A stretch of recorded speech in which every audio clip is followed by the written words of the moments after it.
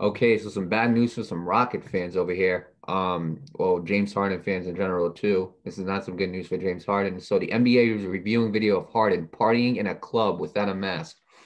Um, they are trying to determine whether it violated COVID policy of the NBA, which, if so, will put his availability at risk.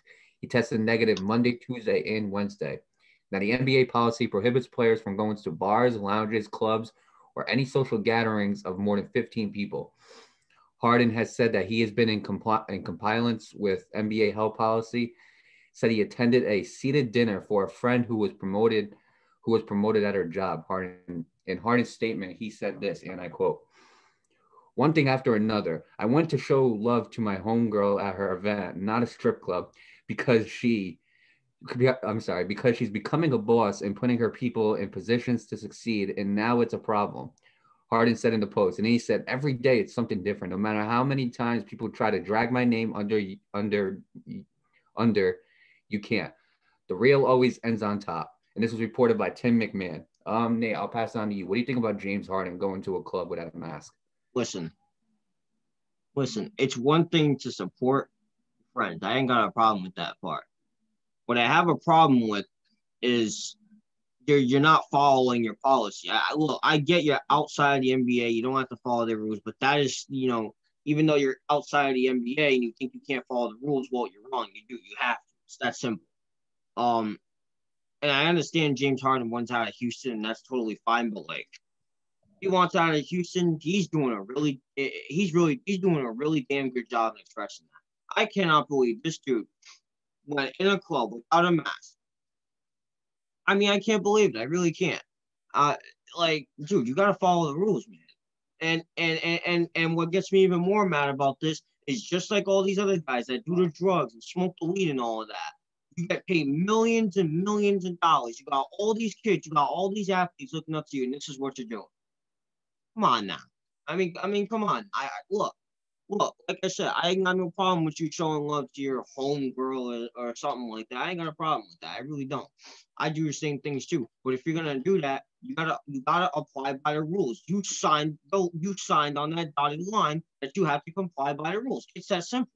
You have to follow it. And and like I said, you got all these kids, all these athletes looking up to you. You're getting paid millions and millions of dollars to do this. Come on, man. I, I mean, come on. What else is there for me to say? You're muted. Sorry. Yeah, I'm sorry about that. But another question. Let me ask you this, okay? Before it passes on to me, mm-hmm. do you uh, what do you think about his statement regarding this issue? Look, one thing I know that I understand it's like, but here, here's a here's the problem. And like I said before, you didn't comply by the rules. That's why they're looking into this. You didn't wear a mask. The NBA requires you to wear a mask. You're not supposed to be going in social gatherings of more than 15 people. You probably did that. So one thing after another, at this point, you're doing it to yourself. Because just the other day, you was throwing basketballs at your damn teammates. I mean, come on now, dude. One thing after another, at this point, you're doing it to yourself. It's that simple. Right, and I'll and I'll say this. Now I don't know what went on between him and his teammate to the point where he threw the ball at him. I don't know. I can't speak on that. I'm not gonna speak on that because I don't know enough about it. But I will say this: the NBA is gonna have a very strict COVID policy because you also got to realize that now you're starting to kind of travel a little bit and you're on a very, very tight schedule as the NBA. They're going to have a tight policy on this because they don't want, because think about this way the more games that get delayed, the more they got to remake them up. And then the more times you remake, uh, you make them up, is the longer the season's going to take. And nobody wants the season to drag on longer than what it should be, if you understand what I'm saying. Right. Nobody wants that because if it drags on longer, then you're can then who knows if it could drag on through the Olympics we they the NBA's goal right here is to get the season done and then go right to the Olympics. They're not trying to drag it into the Olympics, okay? Because we still got people who want to represent our country in, at the U.S. Olympics. So with that being said, James Harden is just putting that at risk. You know what I'm saying? And I completely agree with you 100. percent He shouldn't be at clubs without a mask. Okay, I understand he wanted to support his um his friend, but again, you can't like you're doing the you're doing the wrong way with this man. At least wear a mask. You know what I'm saying? Yeah at least give them some type of argument to look about. This is no argument. He said he's coming to compliance. Well, I got news for him. He's not. Yeah. He's not. You showed up to a place with more than 15 people. Okay. Sat at a dinner, which is a close, you sat at a table with a bunch of close people, cl- around close people. You know what I'm saying? which means a lot of people did not have a mask because you're seated at you're seated at a dinner, which means you got to take your mask off in order to eat. That's that's plain common sense. Number two, number three, okay, it's just it's a whole club. You don't know who's been in there, and honestly, just putting everybody at risk. Yeah, right. And you're not even you're not even allowed in bars, lounges, or clubs to begin with. So why are you doing it? I don't understand what's compliance here.